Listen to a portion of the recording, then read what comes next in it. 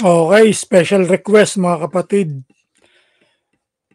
May nag-request sa atin sa PM uh, isa nating kapatid na taga Santa Rosa na baka pwede raw nating maipresenta yung kanilang ginawang service. Nito rin, nitong nakaraang, nitong uh, Holy Week or Easter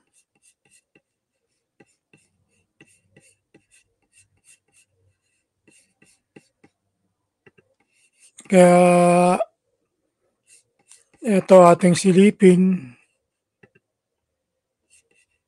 Teka.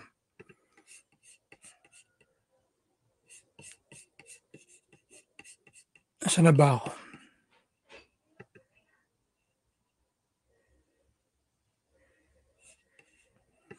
Wait lang mga kapatid.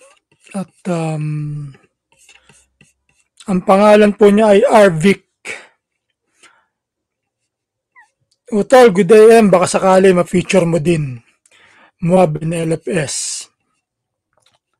Okay, so ang chapter po nila ay Eta Teta chapter po ng Santa, Santa Rosa City, Laguna. Scouts Royal Brotherhood City Provincial Council. Ang GC po ay si Renz Aloy, Mayano, at ang MI ay si Sly Senon. Yan po ang kanilang GC at MI sa Santa Rosa ng ETA Teta Chapter mga kapatid. Okay, so ating tignan ang um, kanilang service na ginawa. Panoorin lang natin itong video.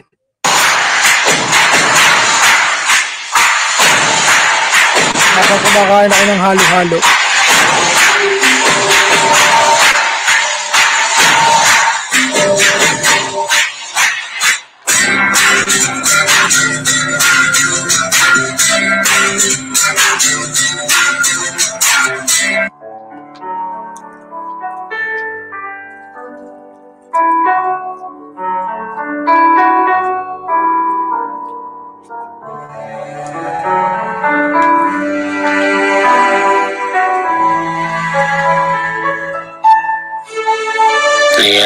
Isang papagpalang araw po sa ating mga kaibigan at uh, ating mga kababayan.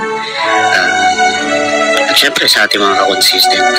Ito nga pala si Utol Big Boy ng Scouts Royal Brotherhood at syempre ng Team Consistent. At uh, nais ko lamang i-share ang nangyaring kaganapan sa araw ng aming community service kasama ang Team Consistent syempre at ang Scouts Royal Brotherhood. Sa mga oras na ito, ay kasalukuyan namin ikinakarga ang mga kailanganin namin para sa aming community service. At gusto ko na rin kunin ang pagkakataong ito para pasalamatan ang ating kapatid sa SRB na si Utol Consi Renz Mayano na isa sa naging tulay upang maka, maisakatuparan ang ating paglilingkod sa ating mga kababayan na namamanata.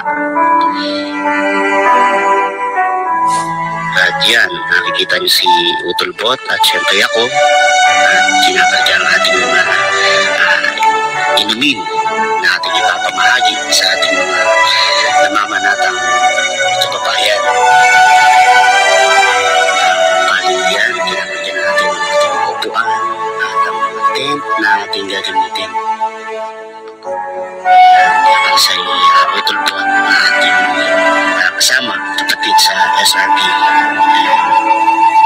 At sa mga oras na ito, nakikita nyo na tinatayo ang tent na pagdarausan ng aming uh, community service. Yan, umaga pa lang eh, diganda na at ingat na kasalubong pa ang isang kapatid sa SRB at kami naman may kinamayan. Yan, kaya uh, mabuhay ka kapatid. At yan, tatangali ang tapat uh, habang aming tinatayo ang aming tent. Yan, kasama ko nga pala dyan si Robin. Para parang din may uh, kasama sa paghahanda at sa pagpaprepare ng ating uh, gagawing community service. Sa nakikita nyo ngayon, ayun yung ating mga inumin at siyempre nakatabas sa yelo, presko namang ma maiinom ng ating mga kababayang namamanata.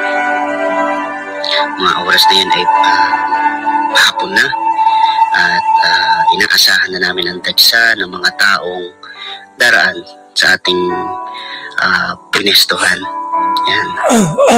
Tawid Uhaw 2024 nga pala ang tema ng aming uh, community service. At sa nakikita nyo ngayon, inihahanda rin namin ang aming um, candies at syempre yung aming mga tubig na ipamamahagi. And at syempre kasama din nga pala natin ang ating advisor sa SRB Eta Teta Chapter. At yan si Kuya Noy. Syempre kasama sa ating uh, pagsiservisyo. Ayan. At uh, sa mga oras na yan ay unti-unti na pong dumadagsa ang mga tao.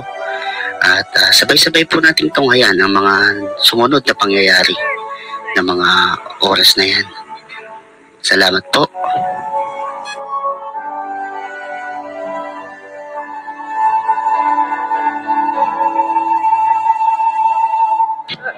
Tubig, tubig po.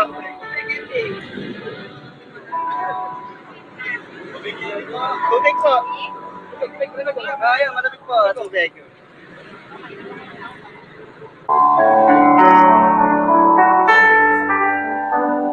So, kita natin ano. Kitang-kita natin yung mga tao na kumukuha ng candy, yung iba kumukuha rin ng tubig. Madami kasing ano eh, naglalakad eh, kaya kailangan talaga nila yung mga ganyan. Alam yung candy, pampa, ano ng gutom din niya kahit papano. Halimbawa, wala ka pang pagkain, kain ka muna ng candy. Tapos syempre yung tubig, di ba? Nakakabusog din yan pag uh... Okay, ating pagpatuloy.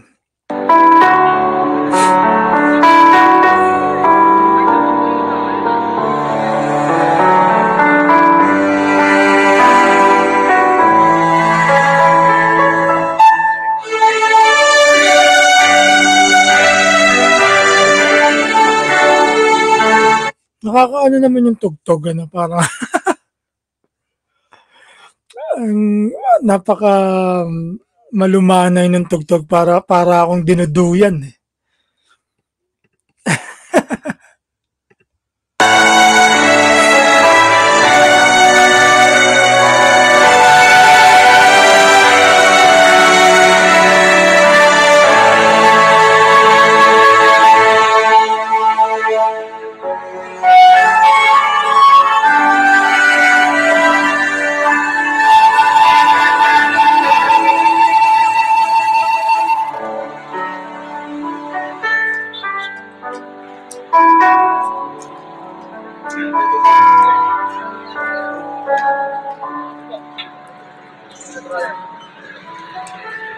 Makakuha po. Tubig?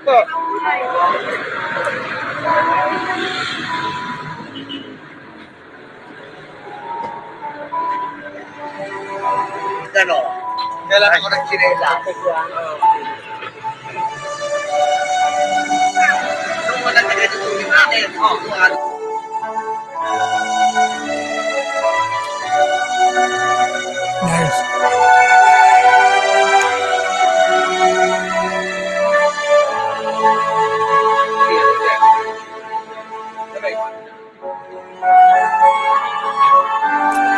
Laking tulong yan sa mga tao.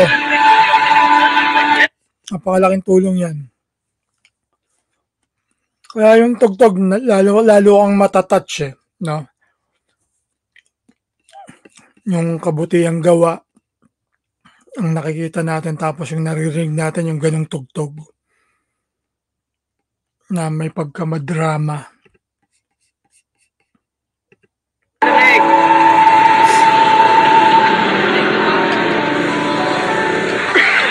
Eto na nga, sumapit na ang dilim. Kasama na rin natin ang mga kapatid sa SRB na sila Utol Sly at Utol Henry. Ah, bagamat pagod, baka sa aming mukha ang kasiyahan sapagkat taos sa aming mga puso ang pagtulong at serbisyo na aming naihatid. ah, yun po, ah, dito na po nagtatapos ang ating ah, munting vlog ah, tungkol sa nangyaring kaganapan sa aming community service. At syempre, hindi po maisa sa katuparan ito, kundi dahil sa pinagsamang effort ng ating mga kapatid sa Scouts Royal Brotherhood, Eta Teta Chapter, Santa Rosa City Council, at sa ating mga kasama sa Team Consistent. Unang-una sa lahat, salamat sa ating Panginoon dahil ginawa niyang successful ang nangyaring community service. At syempre, hindi po namin makakalimutan ding pasalamatan ang ating utol, Consi Renz Aloy Mayano, sa kanyang suporta. Maraming maraming salamat po. Yun lamang po at mabuhay po tayong lahat. Halika na sumama Ilabas mo ang ng sarapa Kapit bisig sa pagtulong sa kapwa At subayang maglingkod ng walang sawa Halika na sumama Ilabas mo consistent, responsable at maaasahan. ang sarapa Kapit bisig sa pagtulong sa kapwa At subayang maglingkod ng walang sawa Alright.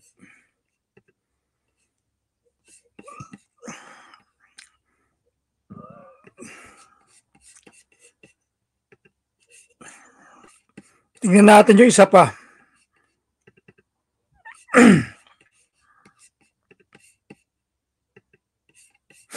Ito yung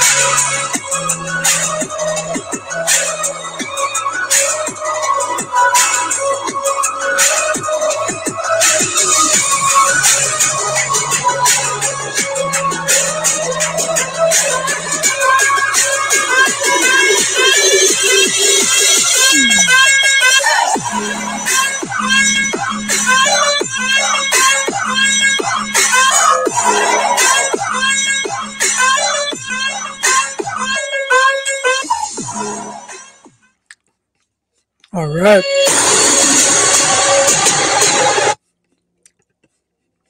Okay, so napakita na natin yung dalawang video.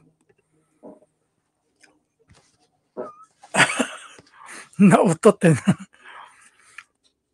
dalawang video, yung isa mahaba, yung isa reels. So, congrats natin mga kapatid. Ang ating mga kasaarabahan dun sa Santa Rosa ng Eta Teta chapter. Malapit ba kayo sa Golden City mga tol? Kasi may bahay kami dyan na yung umuupa, tagal nang hindi nagbabayad. Siguro may mga lampas isang dekada na hindi nagbabayad. Ganong katindi yung umupa sa amin dyan. Well, actually sa ate ko yun. Um, pinaupahan kasi. Kaso hindi na nagba- nung una nagbabayad. Tapos nung tumagal-tagal hindi na nagbabayad. Puro dahilan na. Doon yun sa Golden City, sa dulo. Malapit sa Riles. Gusto ko nga puntahan eh. Dati pinupuntahan namin yun, nangangako, pinapirma namin. Kaso nga, hindi rin maasikaso dahil nga nag-abroad na rin ako. Tapos matanda na yung nanay ng bayaw ko na nagpaupa, hindi niya na maasikaso. Pero anyway, congrats nga pala sa inyo dyan mga tol sa Santa Rosa. Ah, nandyan si Brad Alex eh, ng Upsilon sa Santa Rosa.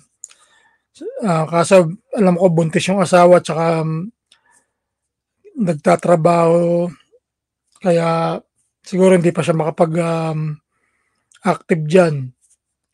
Meron siya diyan pamangkin taga diyan din sa Santa Rosa, galing naman sa Pangasinan SRB din. So, ah, keep it up mga tol, ah, more service to come at ah, pag meron kayong mga services diyan mga tol, sabihin niyo lang sa akin, send niyo sa akin ng ang ah, mga pictures at um, iba-vlog natin. Okay mga tol? So, shoutout ulit sa ating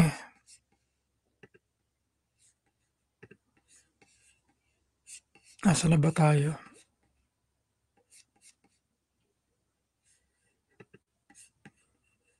Dito kay Brad Arbic sa kanilang GCs na si Renz Aloy Mayano at MI Slice Senon. Okay po mga kapatid, magandang araw sa inyong lahat at ah, Happy Easter. Brad Vlog po ng Alpha Epsilon. Peace.